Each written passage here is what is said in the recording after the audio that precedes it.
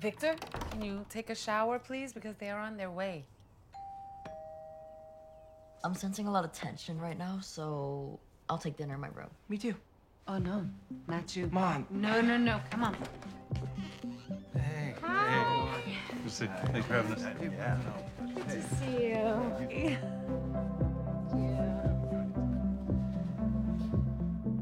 Fine. I will stay for dinner, but only because you raised me to be polite.